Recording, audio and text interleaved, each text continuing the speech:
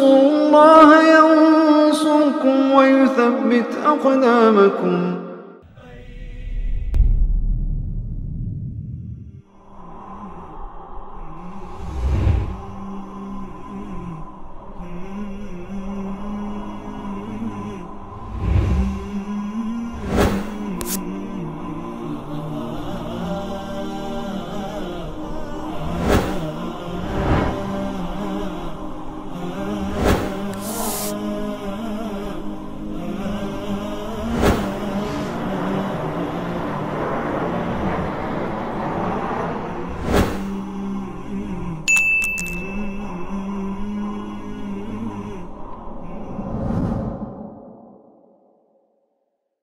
Dan zakat kambing ini semua adalah masih dalam rangkaian tulisan Abu Bakar tadi yang beliau berikan kepada Anas bin Malik.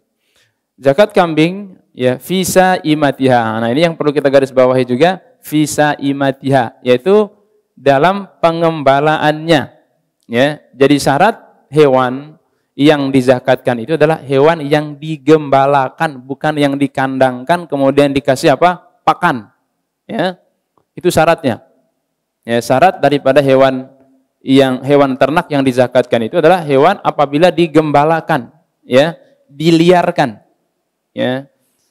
Tidak hewan atau bukan hewan yang apa? dikandangkan kemudian apa? dikasih pakan. Ya.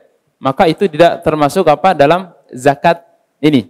Ya, meskipun jumlahnya sama, dia punya ratusan ekor unta umpamanya, ya. Tapi dia dikasih makan setiap hari, ya, dibawakan pakan, tidak diliarkan. Wajib zakat atau tidak? Secara sistem ini tidak wajib. Ya. Karena apa? Karena tidak diliarkan yang di kandang yang dijakatkan di sini yang diliarkan. Ya, yang diliarkan. Ya.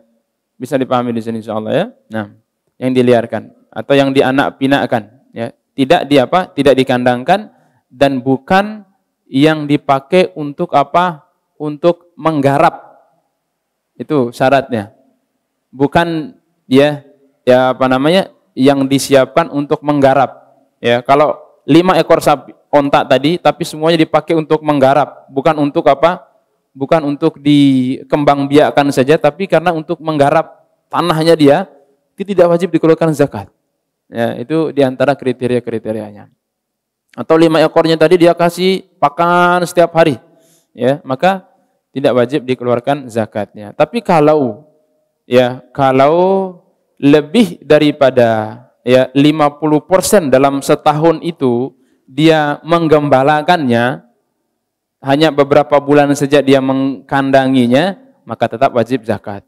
Ya, umpamanya kita kan biasanya kalau musim panen itu kan antara 3 sampai 4 bulan begitu ya. Nah, ketika musim panen atau musim tanam, musim tanam gitu ya, biasanya orang kandangkan, tidak diliarkan. Setelah itu baru diliarkan.